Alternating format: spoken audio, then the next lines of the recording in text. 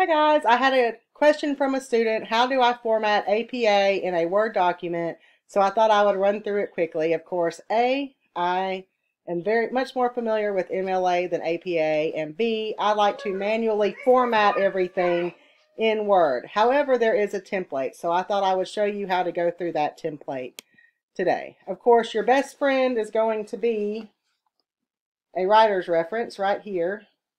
Okay, I keep that open, so always refer to it. It does have sample pages or a sample APA research paper starting on page 483. This is valuable information, so just keep this open as you're going through the format. Okay, so first I'm going to go up to my file, which is at the top of my page. You can't see it, but I'll hit File and then New from Template. And then I can pick APA. So it formats everything for me. Notice it gives me the different running head on the first page than the subsequent pages, which is what I want. So I'm going to double click on the heading and I'm going to type in my title.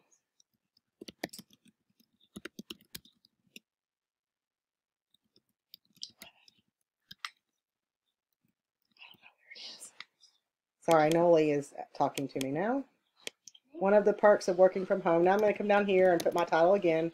What, honey? I don't know where he is. She's asking for wrapping paper. Apparently we're having Christmas in April. Okay. And then I'm going to put my the author's name, which is your name, whoever's writing the essay. So it's going to be Leah C. Fountain. I'm going to include my institution affiliation, which is Calhoun Community College and then I'm going to come down to the author's note. And again, the correct way to put this in will be in a writer's reference, page 483. This paper was prepared for Education 107. Oh, no, that's, that's the example of it. Uh, composition or 101, taught by Leah Fountain. Okay. So then I'll come down here. I do not need the table of contents, so I just I can click on it and come up to this box and remove the table of contents. So I'll go straight to my abstract. This is part of it. I think you do this at the very end of our process since we're breaking it down. Um, but the abstract is a summary of your essay. So you'll just give a short summary and then keywords here. And then you'll start in the body of your essay. Notice it already gives the title. And then it has headings for every other paragraph. So heading one, this will be review of the literature. Remember that second paragraph in your essay will be a short summary of the three sources that you're using. And then each heading for this, we don't really have subheadings. So each heading is going to be centered just like this first one. Um, and then this will be you know your next next will be your three body paragraphs.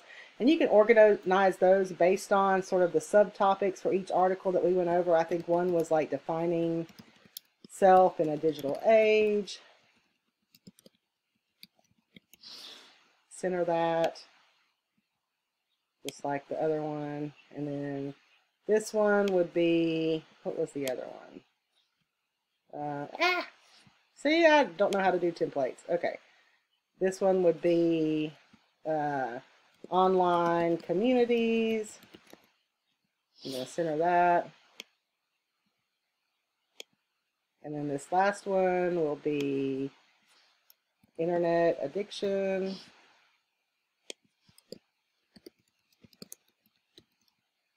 Go ahead and center that.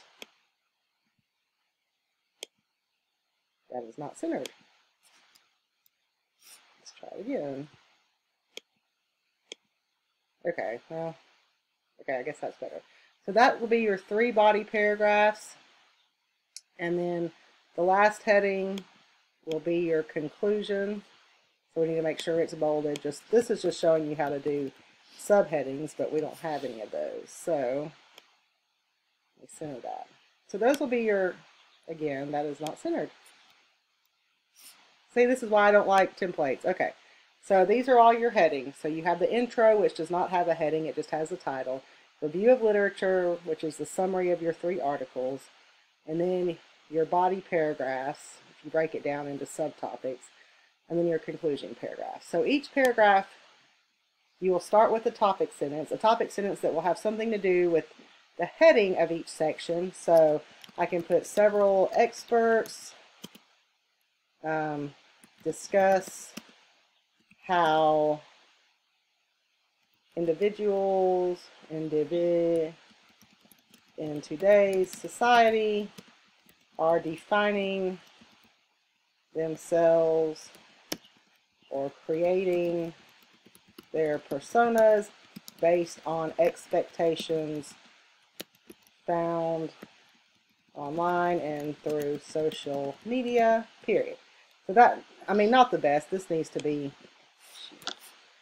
indented just like a regular paragraph too. And then I'm going to incorporate one of my sources. So each body paragraph, topic sentence, and then information from two sources. So in this paragraph, I might use Sherry Turkle and Powers. And then I'll give my opinion at the end there. My opinion in first person, of course. So Sherry Turkle is on, I thought I had it turned to the page. Where are you, Turkle? Okay. So she's on page 578. Okay. So I might say Sherry Turkle, and in APA I put the year that her article was written right after her name, states that, and I'm going to pull this from paragraph 4 on 579, today's adolescents. Um, I'm just going to put an ellipses here. Need time to discover themselves, comma, time to think. And then I'll put my parenth uh, sorry, quotations, and then in parentheses, I'll put the page number I found it on, and then a period. And then I will give my analysis here. And then I'll move on to the next author that I'm going to use, following that same format. So that's the body and conclusion. And then your reference page is here. And I'm going to give you the model for a selection in an anthology. All, all articles should be cited as selections in anthologies. This can be found on page 470 in a writer's reference. So let me just put the model here. It'll be last name, first name, middle name, followed by the year, and then you will have title, selection, and then edited by, no wait, sorry, in names of editors, and that's going to be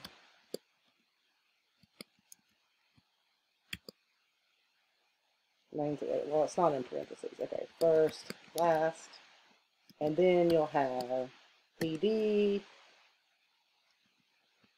in parentheses, comma, and then you will have the title of the anthology.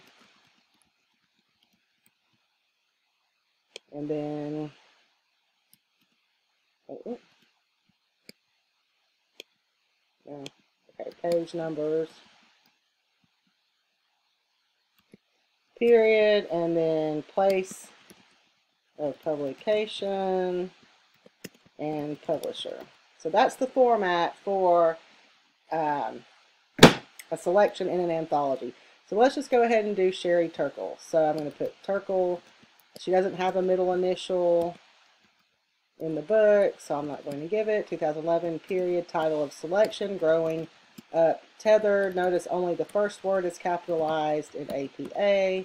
Uh, in, and then the editors are Stuart Greene, and April Lidinsky. Editors. Title is From Inquiry to Academic Writing. The pages of the selection are 578 through, is it 589 maybe? No. Let's see. Yes, let's see. Five, oh no, 592. 592. And then place of publication, you can put either Boston or New York. And then the publisher is Bedford St. Martin's. I think that's how they have them. the thing. Bedford St. Martin's. And that's it. And then I just make sure that I'm going to tab over here for the proper format. I can't just tab because Word is funny. So I'm going to come down here. I'm going to hit enter and then tab over. And that will give me my correct format on the reference page. All right, let me know if you have any further questions. Talk to you soon. Bye.